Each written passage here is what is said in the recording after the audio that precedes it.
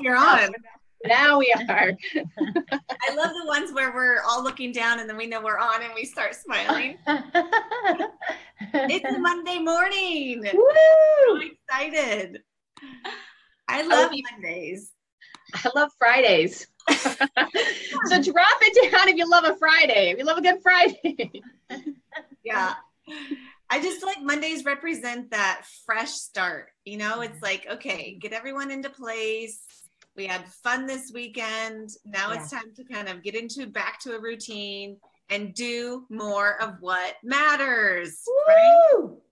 So it is April 23rd today, you guys, and we are so excited. Hey, by the way, this is She's Velvet Steel. If this is your first time joining us, welcome. We're so excited to have you.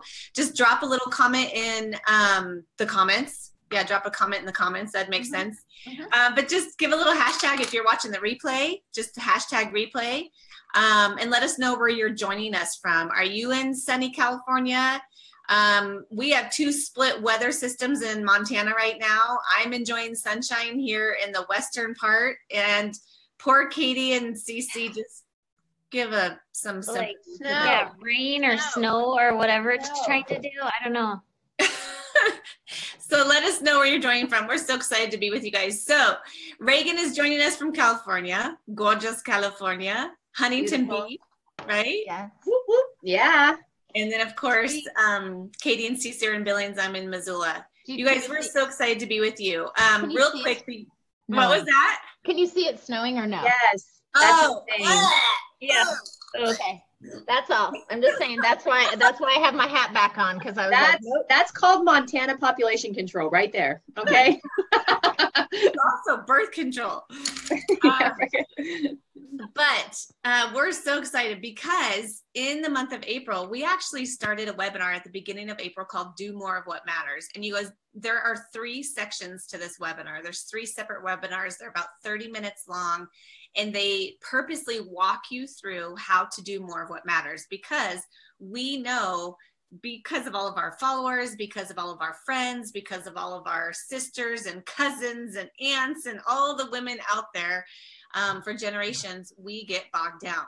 What do we do? And how often do we do it? And I'm doing too much and I'm drowning and I'm not effective at anything and I'm doing a lot, but none of it well. Um, Stop it, Reagan. It's It was not my it was my it's my own personal webinar they gave to me that I'm just sharing with the world. Okay. Right.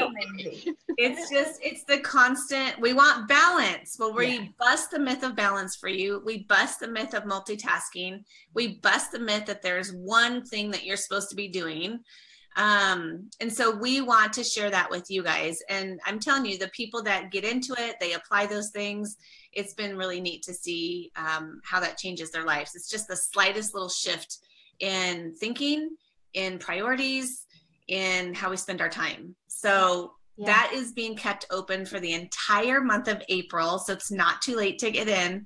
We'll Yeah. put the link in the comments. Um, so make sure you guys check that out for sure. Um, but today, so excited. Cece is wrapping up her three part hope series with us. Yeah. And we realized through doing more of what matters that um, when you do put your head on your pillow at night and you feel ineffective and you feel like you've done nothing well, you're not feeling very hopeful. Mm-mm. And when we don't feel hopeful, we continue to make bad choices, Yeah. right? Yeah. So, Cece, take us there. Give us some hope, girlfriend, in that snowy weather. And I know. I know.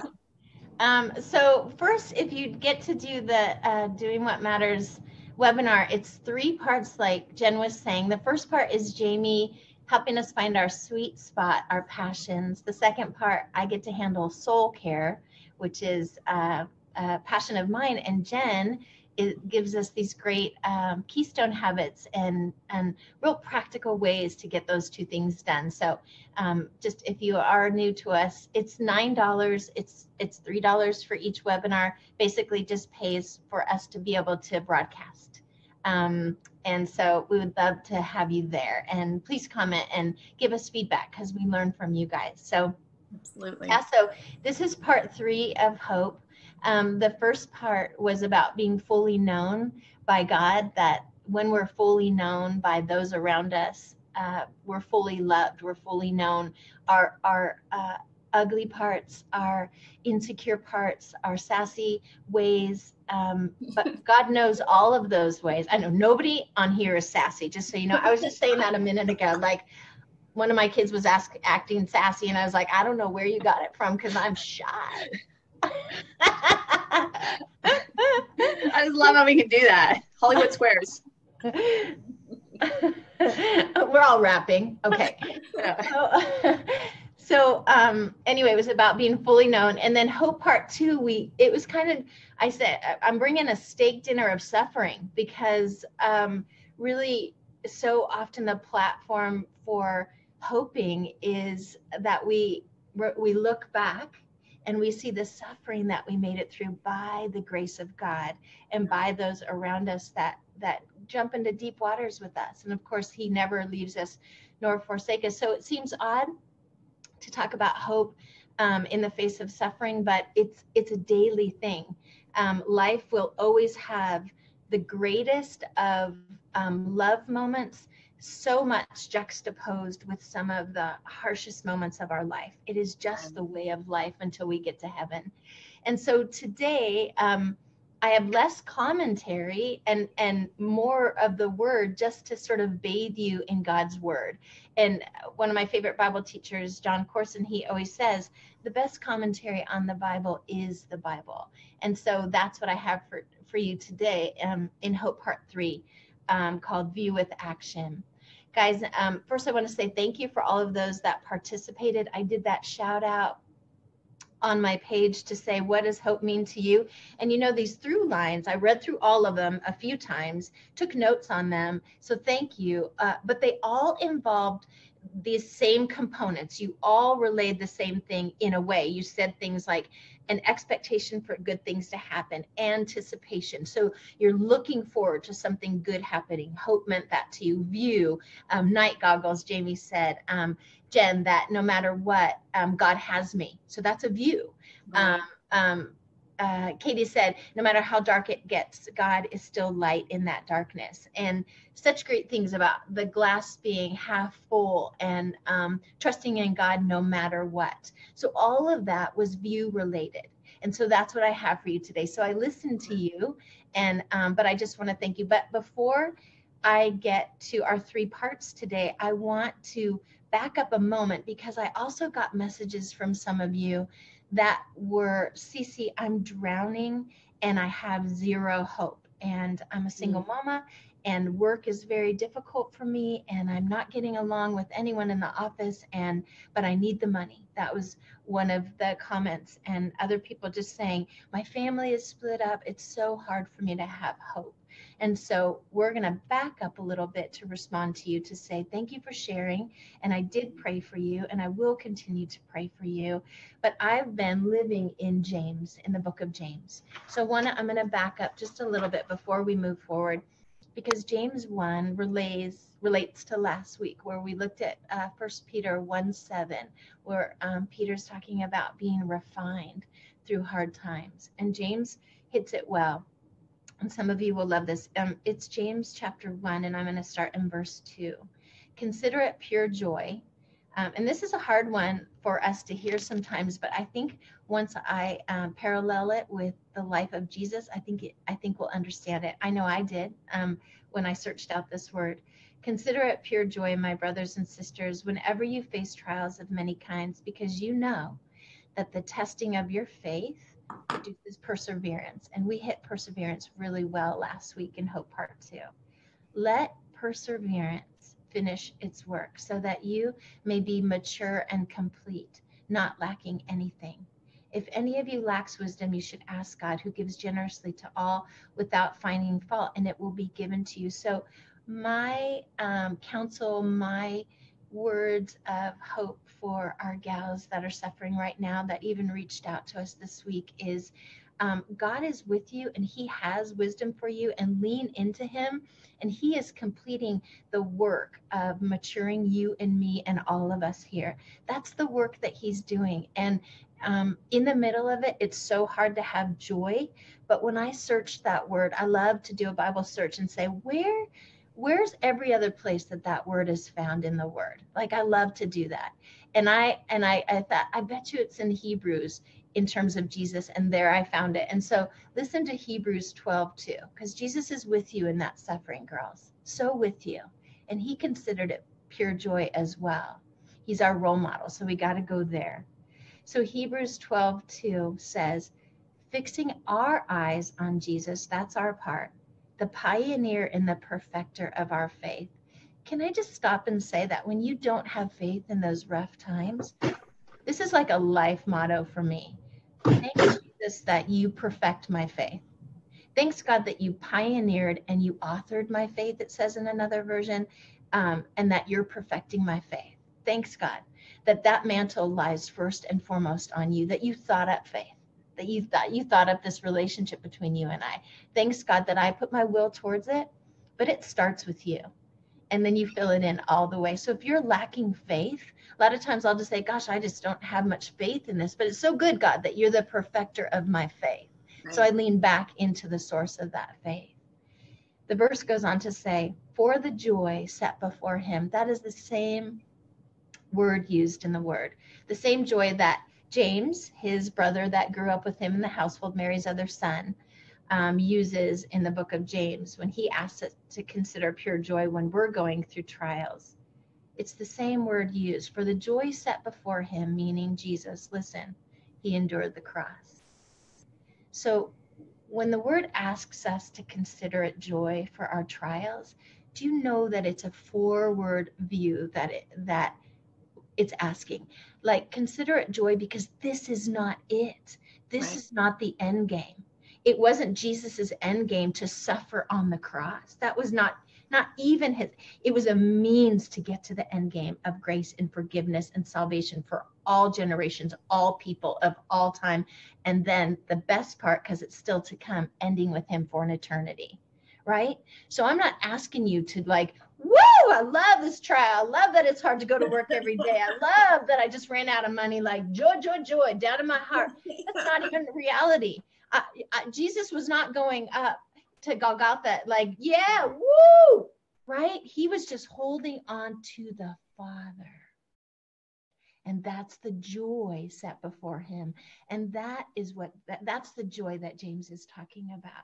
Because I've heard people say, "I forget it. I can't have joy in this again, perfecter of your faith, lean into him because he did it first and for all people. So it says he endured the cross, scorning its shame, and sat down at the right hand of the throne of God. That's our end game. And so, my three things that I have to, just going to bring it right through the word. I'm going to read to you out of the Bible today. This is just story time. And I'm going to take you to these five or six or seven verses. We'll see what our time allows. And I'm going to tell you why um, the view that we can have in our trial can be so joyful because we backfill, right? So these verses are going to tell us where we're headed. And then we can backfill with, okay, I can endure this now, knowing that this is just a season. Do you know that life on earth is just a season? Mm-hmm. It's not our forever.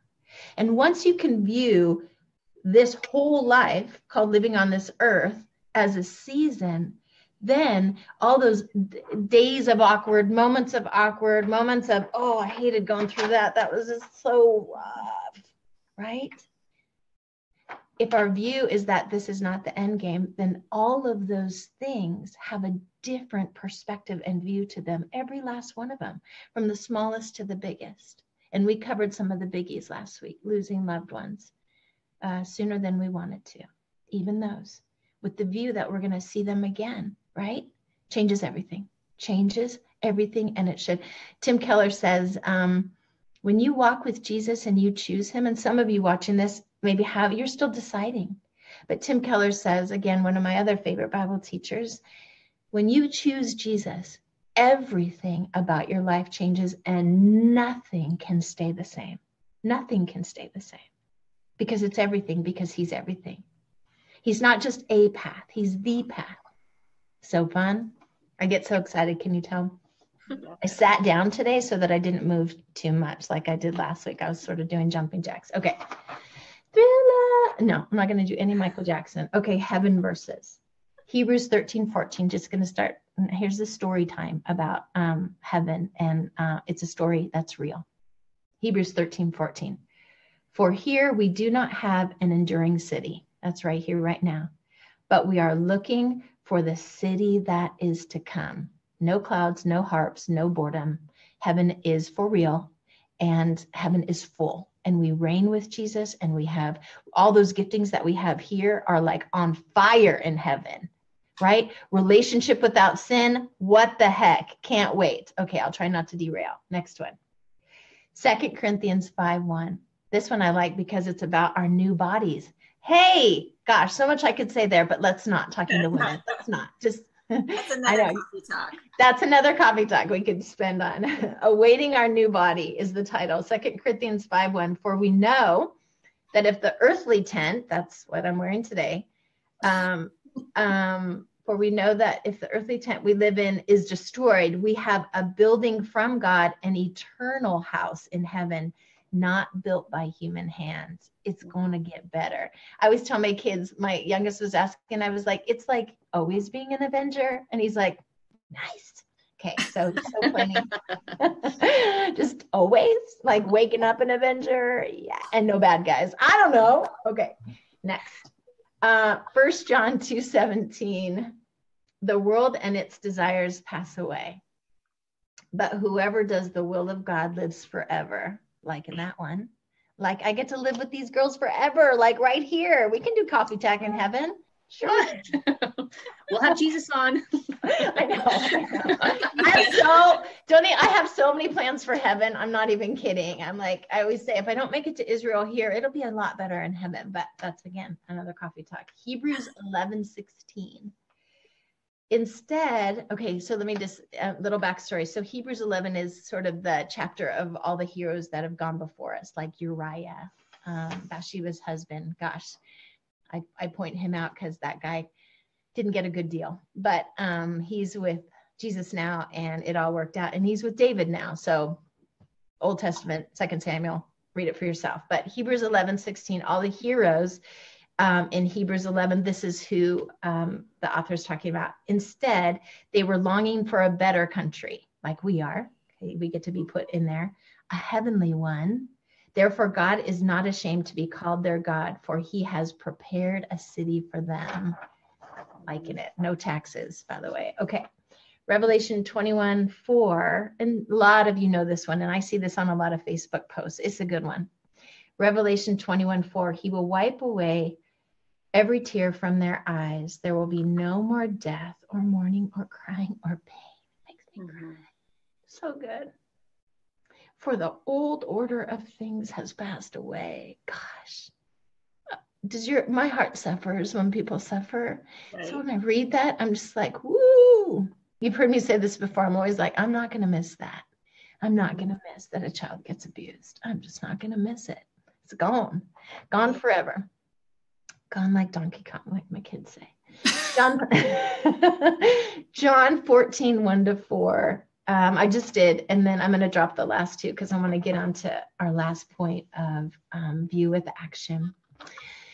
Let me just say that um, hope is view and hope is action. And um, as we end this this three part series, I want to say that view is everything. How I view myself, how I view God, how I view these girls, how I view you as you contact us there will be hope between you and I. There'll be hope in our texts, in our conversations, in our future together, if our view of each other is correct and lined up with God.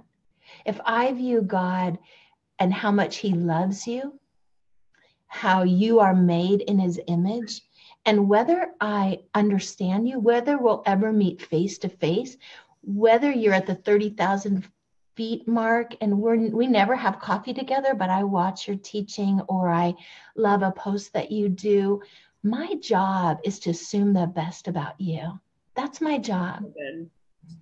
And and that is for me where hope begins and ends. Like the expectation that you all talked about is absolutely in the in, in the minutia so important. My expectation of running into katie at church is a big deal. Like my expectation of uh, coming coffee talks or what God has for each of these girls, my expectation of Reagan becoming a homeschool mom, like what I and we say to her about that. yeah. No, but but I'm hopeful. I'm so hopeful for Reagan, right? So when somebody comes to you with a new thing, assume the best that God's in it because he loves them. Right. And, and he'll handle any of the stuff that we all have to face about ourselves. Listen, that's going to happen if you read God's word. It's right. going down. And so we don't need to check each other's work like that. We get to be, you know, uh, passing on hope, is what I'm saying. So mm-hmm. my last two verses are Galatians, where it has the fruit of the Spirit. And really, the fruit of the Spirit is love, it says a singular verb. And then the, the rolling out of love happens in these ways. It's Galatians 5 22 to 23. But the fruit of the Spirit is love, joy, peace, forbearance, kindness, goodness, faithfulness. Do you just love a faithful person? Do you just love a faithful person? It doesn't mean they can always go all the way with you. It doesn't mean that you won't be like Paul and Barnabas and go in separate directions, figure out the mark thing, and come back, right? It doesn't mean that but it means that you're faithfully praying for them and loving them, whether you talk to them or not. Mm. That's who I want to be. I want people to know Cece would love this. Yeah, I would because you're there and I love you. I don't even have to understand it, right? Um, gentleness, it says, and self control. That's a big one. That's a big one. Someday I'd love to just do a teaching on words and women. I'm going to pump you up. I'm going to talk about how well you do with those words. There might be some cautions too. I'm just saying. But um, gentleness and self control. Against such things, there is no law. For me, this is the soil of hope. When when I'm in these, and um, you know, First John says God is love when I'm with him in his word, when I take one verse like this one and meditate it, just think through the day like, how's my kindness going? What's my gentleness level today? How am I in self-control? Not, not listen, not putting a bunch of like um, to-dos on myself, right. but more just little reminders like, hmm, maybe wait on that response. Wait on that response. Right. And I'm going to finish with this. Colossians 3:15 is our last verse of the day. Let the peace of Christ rule in your hearts. I can hope and you can hope when the peace of Christ is ruling me. More specifically, my thought life. Right. If mm-hmm. his peace is on me, which only comes through knowing him, there is not another way. You can do it on your phone. You can listen to it in your ear on the YouVersion app. Craig Groeschel's church, love them. You can pull like Pastor Levi Lusko, which we all do, or the other Bible teachers, you do it, but get the word in you. It doesn't matter how you do it. I, I, you know, some people say, "Oh, computer." Yeah, do it. I live on the Bible on my computer. Do whatever it takes while you're heading to your Orange Theory class, like Jen. Just pop in the book of Colossians. Now her soul is vibrant, and then she's going to go, you know, knock it dead, which I'm not going, but she's going. So good job, Jen. I'm thinking about it. She's inspiring me because we have an Orange Theory here too. She is my hope that I could do it. So thank you, Jen. You so let that peace of Christ rule in your hearts, to which indeed you were called in one body. Mm. Gosh, please love the body. Right. I'm going to just tell you, just candidly, love the parts that are so different than yours. Just celebrate them because you couldn't do it. Right. And love the parts that are very similar to you and fill in like a transparency, overlay each other. We always say, uh, you know, I would say, we all say now, fade to black. Like let that person come up that has your same gifting. Man, we got to let that peace rule in the body. In the body. We're not meant to do this alone um, and be thankful. And Paul ends with that. And I, if I'm grouchy and grumpy about something going on, um, hope does not have a place to land. Right. If, I'm, if I'm thankful, yeah, totally has a place to land. And so, thanks for doing three parts of hope with us. And Reagan, can I throw it to you and just ask you hope for you or a time of hope or any thoughts, girl? dark days with four kids. my hope is heaven right now, ladies. Yeah. Yeah. I'm getting my own house. I told my kids to be in houses around me. I like them close, but not that close. No, Yeah. honestly, what's been on my mind this entire week, and I feel like you even touched it.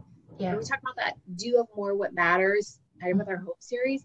And I felt like I was out running, you know, not because Yeah. I like to, but because I need to. And Yeah. I just literally felt like God spoke to me and said, you know, just even changes to think about more of what matters. Like instead of just do more what matters, like start thinking Mhm. about more what matters. And you even hit it there. And I feel like for me, I've really just started and and I was listening to a podcast at the same time and he talked about like the Israelites and how they there was a moment that God was kind of punishing them because they stopped being thankful. Mm. And I just thought, man, just it takes effort to adjust more my mindset more than anything else. I mean, yes, I want to be more organized. I want to do that, but it's like you can do all that and then your mind is still focused and still thinking about the wrong things. Totally. Like we, we're so caught up in whatever, like whether we feel like, oh, I'm just drowning with the stuff that's going on or decisions to be made or, you know, even with my husband, it's like, wow, I could think about, I don't know why he sets his coffee cup next to the sink when we've got a dishwasher. I don't know. I don't know why I could be thinking about that. Or instead, I could be thinking about, like, I love that he always kisses me before he leaves and says, "Put that, will you wash my coffee cup?" He doesn't say that, but I'm staring at it while he's kissing me, and I'm like, "Okay, let me focus on you." So I just, So I, I don't know. I just feel like God's really like gearing it in for me of just let's start like and we say it's simple and small because what we're thinking about but that's it's like you talked with the hope. It totally changes your mindset because now we're so focused on this earthly world this things that we have what isn't isn't going on. And i mean for me so it's not an actual story but i just feel like lately i've been you know it says renewing your hope. And i feel like i'm doing that because i've i've Mm. I'm mentally Yeah. making a decision to think, be thankful, and just think differently. You know, Yeah. I'm, I'm not going to think about all my laundry that's still lying around. I'm not, Yeah. I'm going to think about what does matter and what is Ooh, I love it. So, yeah, Hey, Megan, do you know that what you focus on grows? Ab- mm-hmm. absolutely. Go Absolutely. focus on the laundry. Go, let's go. Uh, so that's why I've got to quit focusing on my belly, man. It is growing. It's not a baby in there. that's why we only do the neck up, ladies. We're truly. We just like keeping it here. babies. All right. I now I I find this like I don't even know if Katie. I feel like you're muted this entire time because I see you laughing and I hear no sound. Are you Alright. muted? no, I'm I'm here. I'm here. Okay. Okay. All right. Yeah. What about you? All right. Well, I I'm just really hit by like hope is what your view is and then like what your action steps are because for the longest time I felt like my life was defined by some of the people around me or because of how they feel or because of what they do or because of Mm. um, and I just think um, when you hold on to the Father, like you said, and you just so good. you know do your thing with Him, it's just going to give a whole different perspective of the hope that's there. Yeah. Um, and and everybody else is going to be doing their own thing, and let them and love them and support Yeah. them, and and do your thing. Like just yeah, cling to the Father and yeah, that's what's really been hope for me. It's not it's not blaming somebody else or if if they did this, my life would be so much better or if, you know, it's just no, it's it's you and God and get in community with others and your hope's going to skyrocket. I promise. So good. Yeah. Mm. So good. Yeah. Um, well, we got to wrap it up, but I do want to share, you know, Cece had asked us this week, like, do you guys have a personal story of hope? And um, part of me didn't know if, you know, there's so many different stories, but for me, hope is such a battle because if the enemy can keep you from having hope, then everything changes. Your choices change, your view changes, what you focus on changes, how you parent changes, how you love your husband changes. like how what kind of neighbor you are like if you have no hope i was going through pictures um there's so many things you you said Cece but i was going through pictures and i there was a day two years ago that i walked outside of my garage and i literally took a picture with my cell phone. The car in the garage had a flat tire like flat to the concrete. The car outside of the garage had a flat tire.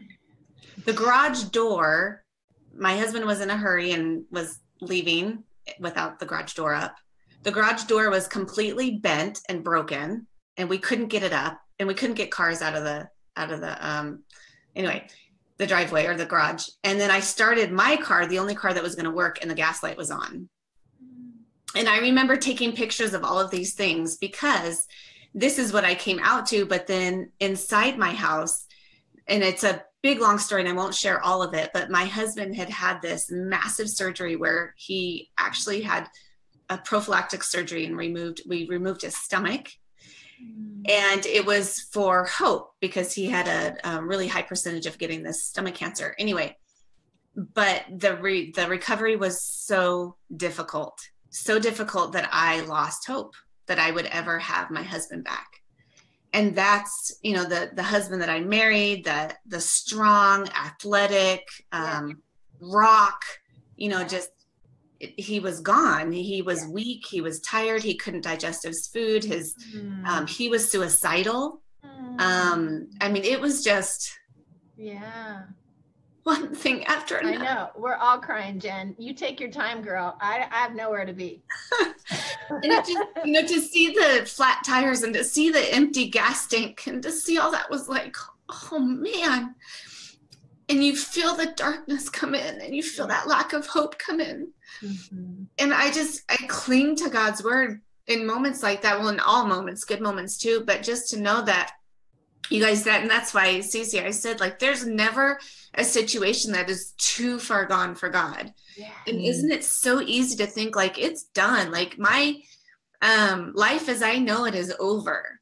Mm-hmm. And it's a grieving process. So I so I really feel like anybody that's in a grieving process whether you've you're grieving the loss of a loved one or the loss of what you thought was going to be. Yes. Whether it's, that's you know, huge yeah you thought your marriage was going to be a certain way or you thought your child was going to turn out a certain way or you thought you were going to have children and you didn't and you thought you were going to get married and you didn't or you aren't and you know grief is applied to so many different things so i feel like grief and hope and love is just all like this big old matzo ball of christ is at the center of that and everything you said this morning Cece is um we we have to help each other not lose hope because we immediately operate in that scarcity mindset with that empty gaslight, mm-hmm. right? Of mm-hmm. just like, okay, what else is going to happen? Oh, red light. mm-hmm. Oh, you know, you know, everything that happens is now just salt on that open wound when you don't have hope. Yes, yes. yes. And um God is just, I remember falling to my knees and being like, this is it. Like you've stripped everything from me that's familiar mm. to start a new chapter. But hope is where that chapter started. Yeah you know yeah. that little ray of sunshine that kind of mm-hmm. peeked through the darkness of like okay just almost like a little kid like don't let go of that light just just don't leave me as long as i have that i don't care how many cars are broken down and you know the lack of food and lack of whatever you know we'll every day we'll get through it so anyway hope is just massive but i had a um a mentor of mine that used the term calm delight mm and it made me think of that Cece when you said like when I wasn't like yes flat tire yes my husband's no. sick again mm-hmm. this is awesome like trials mm-hmm. are great I'm grown right. no but mm-hmm. hope gives you that calm delight mm-hmm. and it's a mm-hmm. quiet confidence in knowing that he's got you he there's, does. there's nothing too far gone um that's beyond his redemption right yeah yeah, yeah and so, Jen, just using you as an example before you close this. So, your view now back to that day and back to that season with your sweet husband, right? Your, your view of that, Jen, is why you can, like, your hope message is solid, girl, for us. Right. It's solid for everybody. And I just want to say that, like, because right now somebody has that walk out and take a picture day of everything a mess. Right now, that's your right. day.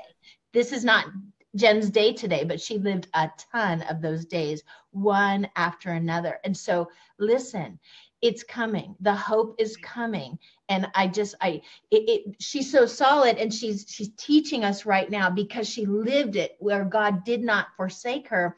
And don't forget that Jesus wept in the word before he raised Lazarus from the dead. Why right. the heck did Jesus cry? Because it was sad. Right. So our the Son of God cried, even knowing that he had the ability to, to bring the dead back to life. He right. still took time to grieve.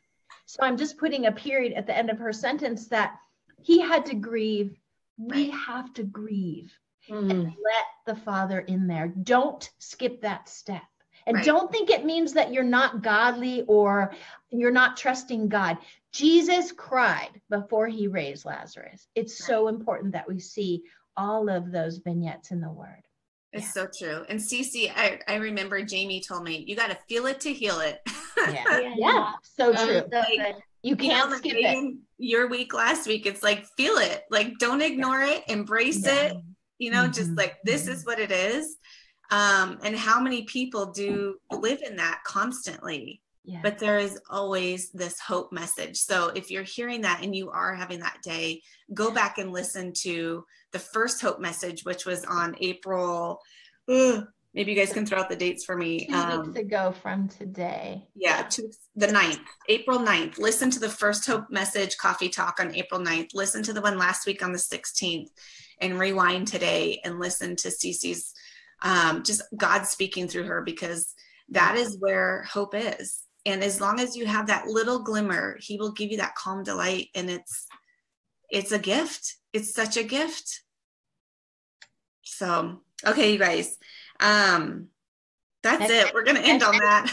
And next week, social media, Jen. Do you want to just just yes, so let them know social media. In fact, I'm going to do a little poll today, but let's do a poll here on She's Velvet Steel. I don't want to totally digress from the hope, but yeah, I want to know what are your biggest struggles with your children and social media and electronics. It kind of um, combines and overlaps a little bit.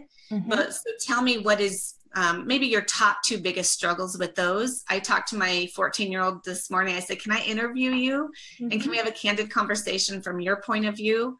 Um, why I'm so annoying asking you to constantly get off of your phone. Yeah. Yeah.